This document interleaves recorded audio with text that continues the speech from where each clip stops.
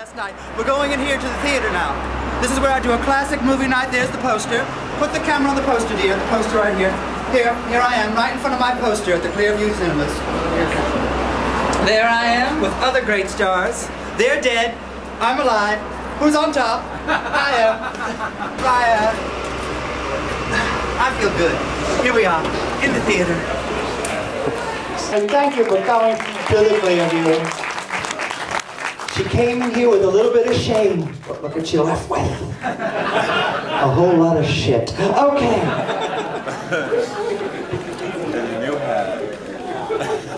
and a new gym hat. You could wear that in the gym and be the coolest person at the gym. What gym do you go to? Ballet. Bally's.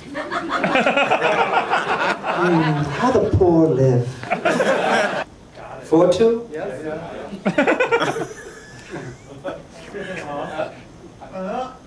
Five four. No. Do we have a winner?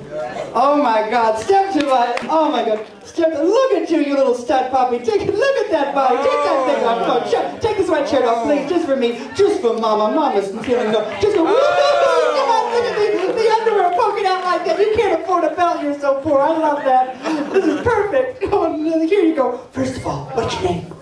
Jay. Jake, you know, I recognize your face, or maybe it's your ass. You do, you're in those Michael Lucas films, aren't you? You're a porn, you're, you're, you're oh, he does oh. porn. Look, this is, I feel dirty. wow, are you in any, up, what's the, what's your current film? A gigolo. Chickler, what do you play? A gigolo. Could you reenact the scene for me? Oh. Oh. Wow. Wow.